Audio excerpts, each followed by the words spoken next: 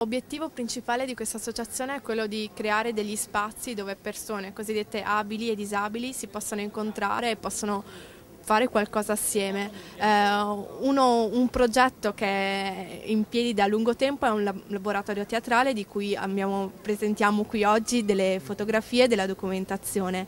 L'ultimo spettacolo messo in scena dal mm, laboratorio teatrale Dindon Down è M, il Minotauro, che è stato pluripremiato quest'anno a un festival nazionale anche. Adesso siamo circa 10-15 volontari e mh, di ragazzi disabili ce ne sono circa da 20 a 30, dipende da anche le iniziative. No, è un gruppo di volontariato, una onlus, semplicemente ci sono, mh, i ragazzi afferiscono da varie strutture ma non abbiamo una collaborazione diretta.